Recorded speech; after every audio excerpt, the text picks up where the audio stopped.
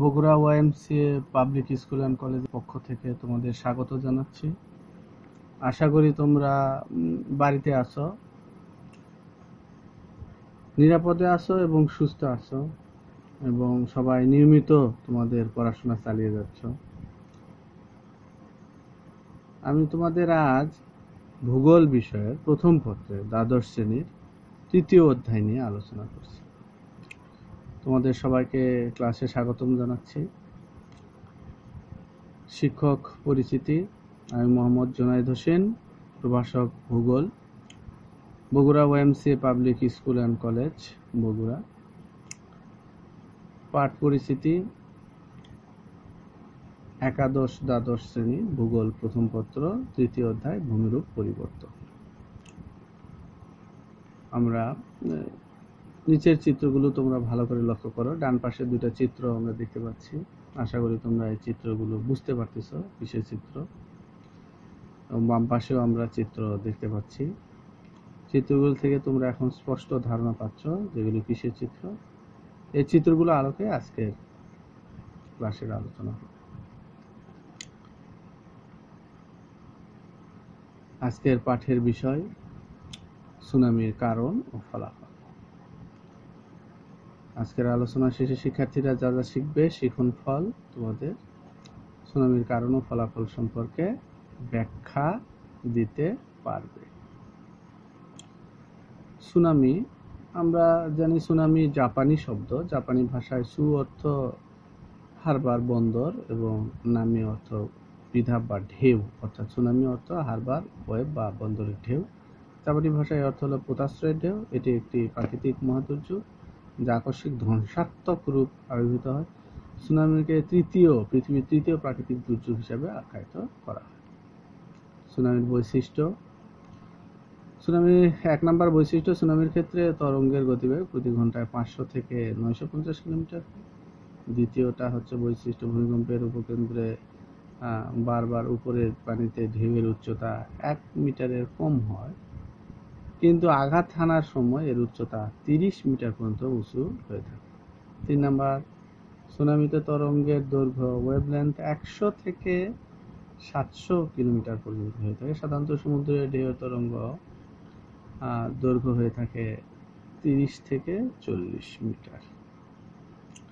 আমরা সুনামির কারণ causes of tsunami সুনামির অনেক কারণ রয়েছে। ভূবিজ্ঞানীদের গবেষণায় সুনামির বিভিন্ন কারণ উল্লেখিত, তার মধ্যে প্রধান হচ্ছে কয়েকটি কারণ, ভূমিকম্প, অভ্যন্তরীণ প্লেটের গতি, ভূমি, ধস এবং হচ্ছে আগ্নেয়গিরির অগ্নুৎপাত এছাড়াও হচ্ছে আরও কিছু কারণ রয়েছে, আমরা এ- নিয়ে পরে আলোচনা করব। এখন আমরা ভূমিকম্পের যে সুনামির যে কারণটা, প্রথম কারণ ভূমিকম্প। আপাতত দৃষ্টিতে ভূমিকম্প, সুনামির হচ্ছে অন্যতম কারণ হিসেবে পরিগণিত হয়। সমুদ্র তলদেশের বিশ থেকে তিরিশ কিলোমিটার গভীরে ভূমিকম্প সংঘটিত হলে তা সমুদ্রে তলদেশের মাটিকে নাড়া দিয়ে সঙ্গত কারণে এর উপরিস্থ পানি রাশিকে নাড়িয়ে তোলে, সৃষ্টি হয় কম্পন তরঙ্গ এবং সৃষ্টি হয় সুনামির। সুনামির হচ্ছে খুবই শক্তিশালী এবং এর একটা পরিমাপ যদি আমরা বলি, তাহলে নয় হাজার পাঁচশোটি পারমাণবিক বোমার যে সক্ষমতা রয়েছে, একটা সুনামির সে সক্ষমতা হতে পারে। তারপরে আমরা দেখতে পাচ্ছি অভ্যন্তরীণ প্লেটের গতি। আমরা জানি নানা প্রকার প্রাকৃতিক কারণে প্লেটগুলো সঞ্চয়নশীল, সাধারণত কার্বন চক্রের প্রভাবে ভূ অভ্যন্তরস্থ টেকটনিক প্লেটের নাড়াচড়া হতে থাকে। এভাবে কোনো স্থানের প্লেট অপর প্লেটের দিকে ধাক্কা দিতে থাকে, সবসময় একটি আরেকটির উপর উঠে যায়। এক্ষেত্রে ছোট টিলা হতে পাহাড় সমান পর্যন্ত হঠাৎ হচ্ছে ভূতক উঁচু হয়ে যায়। নদী ও সমুদ্রের ক্ষেত্রে অবস্থা সৃষ্টি হলে সংশ্লিষ্ট অঞ্চলে পানি এসে হঠাৎ ফুলে ওঠে, সুনামির সৃষ্টি করে। এবং এই সুনামির হচ্ছে যেটা সবচাইতে বড় যে সুনামি, সেটা হচ্ছে ছাব্বিশে ডিসেম্বর দুই হাজার চার সালে যে সুনামি হয়েছিল, সেটাতে প্রায় ভূমিকম্পের মাত্রা ছিল নয় দশমিক এক এবং পানি প্রায় একশো ষাট ফুট উঁচু হয়েছিল। এটা এশ- এশিয়ার হচ্ছে Indonesia, Malaysia, Sri Lanka, Bharat, Thailand মালদ্বীপ ছাড়াও আমরা আফ্রিকার কিছু দেশ, কেনিয়া, সোমালিয়া সহ বারোটি আফ্রিকার দেশ পর্যন্ত বিস্তৃত হয়। এতে প্রায় তিন লক্ষ মানুষের প্রাণহানি ঘটে। শুধুমাত্র ইন্দোনেশিয়ায় এক লক্ষ দশ হাজার মানুষের প্রাণহানি এবং দ্বিতীয় শ্রীলঙ্কাতে একত্রিশ হাজার দুইশো জনের প্রাণহানি ঘটনা ঘটে থাকে। এরপরে আমরা দেখতে পাচ্ছি ভূমিধস সমুদ্র তলদেশে রয়েছে অসংখ্য পাহাড় পর্বত, এর কিছু অংশ ধসে পড়ে, পড়তে পারে বা সমুদ্র তল সমুদ্রের পাশে উঁচু ভূভাগ হতে ধসের ঘটনা ঘটতে পারে। এসব ধসের কারণে সমুদ্রের পানি প্রচণ্ড ঢেউয়ের সৃষ্টি ও ফলশ্রুতিতে সুনামি সৃষ্টি হতে পারে। আমরা তারপরের হচ্ছে কারণটা দেখব। আমরা তারপরে চার নম্বর যে কারণটা আছে, সে কারণটা আমরা দেখতে পাচ্ছি। আগ্নেয়গিরি অগ্নুৎপাত কোনো বৃহৎ পানি রাজ্যে সমুদ্র তলদেশ অবস্থায় আগ্নেয়গিরি হতে হঠাৎ হচ্ছে অগ্নুৎপাত বা লাভা লাভা নির্গমন ঘটলে, এর ফলে পানিতে প্রচণ্ড ঢেউয়ের সৃষ্টি হয়, অর্থাৎ সুনামির জন্ম হয়। এছাড়াও কিছু কিছু কারণ রয়েছে। সুনামি যে নবজাগতিক ঘটনা যেমন বিশাল আকার, উল্কাপিণ্ড যদি পতিত হয় সাগরে বা ভূমিতে, তাহলে সুনামি সৃষ্টি হতে পারে। হঠাৎ সমুদ্র তলদেশে বিশাল পানি রাশি সরে যাওয়ার ফলে সুনামি হতে পারে। অনেক সময় জোয়ার ভাটার ন্যায় সমুদ্রের হচ্ছে বায়ুর প্রভাবে, ঘূর্ণিঝড়ের প্রভাবে সুনামি সৃষ্টি হতে পারে। এছাড়া বৈজ্ঞানিক গবেষণার কুপ্রভাবে যেরকম আমরা ধরতে পারি যে সমুদ্র তলদেশের হচ্ছে পারমাণবিক বোমা বিস্ফোরণের ফলেও সুনামি হইতে পারে। আমরা এখন সুনামির গতি দেখে নিব। আমরা এরপরে দেখব সুনামির হচ্ছে গতি। সুনামির গতি আমরা যদি বলি, তাহলে দেখতে পাচ্ছি যে সুনামি আগমন ঘটে অত্যন্ত তীব্র বেগে। ঝড় বেগে বলতে প্রথমত বলা যায় বিদ্যুৎ বেগে, কারণ এটা হচ্ছে পাঁচশো থেকে আটশো কিলোমিটার বেগে সুনামি আঘাত হানলে উপকূলের ঢেউ যতই তীরের দিকে হচ্ছে আগায় ততই শক্তি সঞ্চার করে বাড়ে এবং ঢেউয়ের উচ্চতা এ সময় হচ্ছে ঢেউয়ের এক মাথা থেকে আরেক মাথার হচ্ছে দূরত্ব, শতাধিক কিলোমিটার পর্যন্ত হয়ে থাকে। অগভীর পানিতে সুনামি, ধ্বংসাত্মক পানি পানি চাষ বা জলোচ্ছ্বাসের রূপ নেয় উপকূলে পৌঁছে আঘাতের পূর্ব মুহূর্তে কূলের সব পানি শুষে নেয়। প্রায় একশো ফুট ফুলে ওঠে এবং পর মুহূর্তে ঝাপটা দিয়ে সমান করে দেয় বিস্তীর্ণ এলাকার জন্য সুনামির আগমন সম্পর্কে মানুষ কোনো পূর্বাভাস দিতে পারি না। সুনামির ফলাফল সুনামির ফলাফল অত্যন্ত ব্যাপক এবং বিস্তৃত। মানবকুল ধ্বংস হয়ে যায়। আমরা দেখতে পাচ্ছি যে মানুষ প্রকৃতির শক্তির কাছে অসহায় সন্তান কাল মহাকালে প্রাকৃতিক বিপর্যয়ে কত কোটি মানুষকে অসহায়ভাবে মৃত্যুকে বরণ করে নিতে বাধ্য হয়েছে, তার ইয়েতে নেই। অন্য সব হচ্ছে দুর্যোগের কথা বাদ দিয়ে সুনামি হচ্ছে প্রাণ সংহার ইতিহাসেও দীর্ঘ পরিসর ব্যাপার।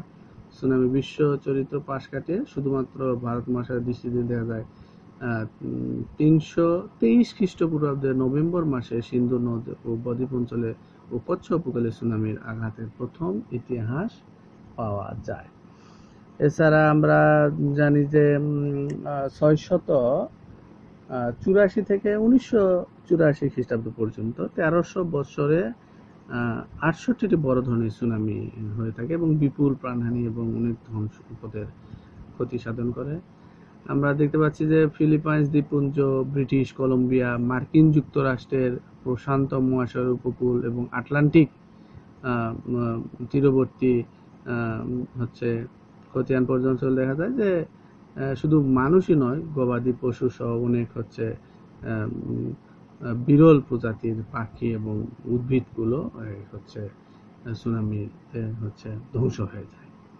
আমরা এখন হচ্ছে একটা সুনামি, হচ্ছে, উল্লেখযোগ্য তালিকা দেখতে পাচ্ছি। এখানে কয়েকটা তালিকা দেওয়া আছে। বিশ সেপ্টেম্বর চোদ্দোশো আটানব্বই একত্রিশ হাজার প্রাণহানি ঘটে।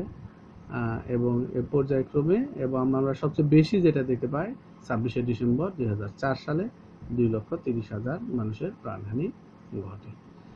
আচ্ছা তারপরে আমরা দেখতে পাচ্ছি মনস্তাত্ত্বিক প্রভাব। এই সুনামির হচ্ছে মনস্তাত্ত্বিক প্রভাব আমরা দেখব। সাইকোলজিক্যাল ইফেক্ট যে সুনামির ভয়াবহ রূপ ধ্বংস বিধ্বংসী গতি, ভয়ঙ্কর প্রবাহ, বর্ণনা, বোঝানো বা কল্পচিত্রে অঙ্কন করা সম্ভব নয়। এটা শুধুমাত্র কথাতেই বোঝানো সম্ভব নয়। সুনামি আক্রান্ত ব্যক্তি সচক্ষে যারা অবলম্বন করেছে, জীবন মৃত্যু সন্ধিক্ষণে যে রূপ বিভীষিকাময় মৃত্যু আতঙ্ক নিয়ে বেঁচে থাকে, তাদের অনেকেই মানসিকভাবে বিকলাঙ্গ হয়ে যায়। বিশ্ব স্বাস্থ্য সংস্থা হু এক জরিপে দেখেছে। আমরা এখানে দেখতে পাচ্ছি যে দুই হাজার চার সালে হচ্ছে ছাব্বিশে ডিসেম্বর সংঘটিত হচ্ছে সুনামিতে শ্রীলঙ্কায় হচ্ছে বিশ থেকে তিরিশ দিন পরেও চোদ্দ থেকে উনচল্লিশ শতাংশ শিল্পে নিযুক্ত কর্মী এরা হচ্ছে পিটিএসডি হচ্ছে আক্রান্ত হয়, এরা প্যানিকে আক্রান্ত হয়। এদের ভিতর থেকে সেই প্যানিকটা যায়নি। আমরা এরপরে হচ্ছে দেখব আর্থিক ক্ষয়ক্ষতি ফিনান্সিয়াল কস্ট সুনামির ফলে উপদ্রুপ এলাকায় রাস্তাঘাট, অবকাঠামো, সেতু, বিদ্যুৎ যোগাযোগ বিপুল ক্ষতি হয়। এর পরিমাণ হচ্ছে লক্ষ কোটি ছাড়িয়ে যায়। সংশ্লিষ্ট দেশের সরকার স্থানীয়ভাবে বহির্বিশ্বের সাহায্যের পরিমাণ বিলিয়ন বিলিয়ন ডলারের প্রয়োজন হয়। আমরা চার নাম্বার হচ্ছে কারণটা দেখব, ভূতাত্ত্বিক ক্ষতি। সুনামি জনপদ ধ্বংস করে অনেক দ্বীপ দ্বীপপুঞ্জ নিশ্চন্ন করে হচ্ছে করে দেয়। ফাটল সৃষ্ট ভূমিকম্পের উৎপত্তি লাভকারী সুনামি প্রচণ্ডতা সমুদ্রতলের ফাটল সৃষ্টি করতে পারে। এই ছিল হচ্ছে আমাদের আম, হচ্ছে সুনামির হচ্ছে ফলাফল। এছাড়াও আমরা বলতে পারি এছাড়াও আমরা বলতে পারি যে সুনামি ধ্বংসের পর বাংলাদেশে খুব একটা পরিলক্ষিত হয় না। হলেও কোনো, হচ্ছে কোনো কোনো সময়ের প্রভাব লক্ষ্য করা যায়। উদাহরণ হিসেবে দুই সালে ছাব্বিশে ডিসেম্বরে এক প্রলয়ঙ্কারী সুনামি দক্ষিণ এশিয়ার বিভিন্ন দেশের সাথে বাংলাদেশের উপকূলীয় এলাকায় কিছু সংখ্যক বাড়িঘর এবং যানমালের ক্ষতি সাধন করে। যারা হচ্ছে, যারা এটা দেখছে তারা শুধুমাত্র এটাকে হচ্ছে, এটা কল্পনা করতে পারবে। আমরা সে সময় কলেজে হচ্ছে আমরা ছাত্র ছিলাম। আমরা এটা হচ্ছে দেখছি সচক্ষে। এবং এটা প্রথম অবস্থা আমরা বুঝতে পারিনি, তবে স্যারদের সাথে আলোচনা করে আমরা বুঝতে পারলাম এটা একটি সমুদ্রের ঢেউ এবং এটার প্রভাব অত্যন্ত আমাদের কাছে নতুন ছিল এখন তখন। আশা করি তোমরা ক্লাসটি খুব মনোযোগ সহকারে করবে এবং হচ্ছে তোমার পাশাপাশি বই, তোমাদের যে, যার যে বইটা আছে সেই বইটা সুনামিটা দেখবে। তাহলে তোমরা উপকৃত হবে। এবং সর্বোপরি তোমাদের ধন্যবাদ জানাই, আজকের ক্লাসে। সবাইকে আবারও শুভেচ্ছা জানিয়ে আজকের মতো ক্লাস শেষ করছি। আসসালামু আলাইকুম ওয়া রাহমাতুল্লাহি ওয়া বারাকাতুহু।